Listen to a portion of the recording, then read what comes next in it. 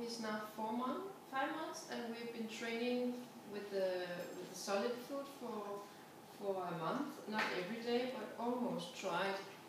And um, he's um, enjoying the solid food. I, right now, I just mix the banana porridge uh, that is for four months age, and then uh, we are trying a little bit of mango and banana since it's from five to six months, and he's just turned five months uh, yesterday. So just a little bit for the flavor to see if he can get used to a little bit more sour food. The porridge is uh, not sour at all, so mixing this will um, make him just get used to it, getting used to the sour flavors.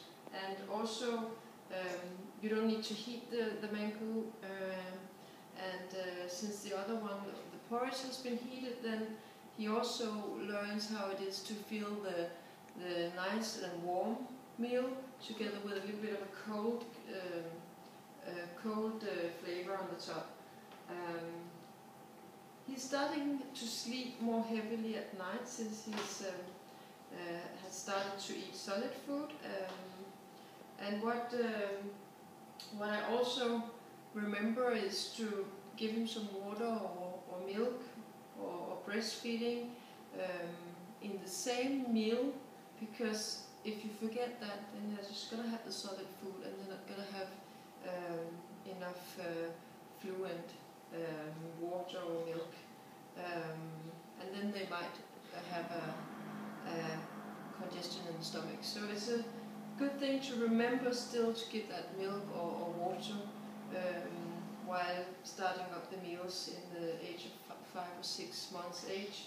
Um, some mothers uh, want to breastfeed 100% at, at, this stage where your, your infant is five months or four or six months.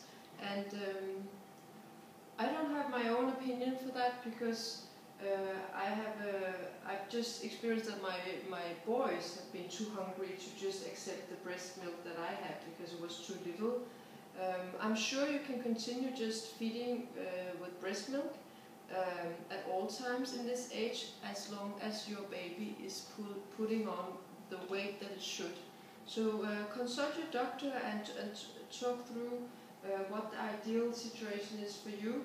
A lot of moms think it's a, a little um, extra work to do this and, and, uh, and it's sticky and all that, but mice, uh, he usually have something in his hand, so, so while I'm doing this, he's occupied. Um, another thing is to put uh, your baby in a seat that is actually a more lying position, um, but I found out that he gets uh, angry and upset if he's not sitting upright.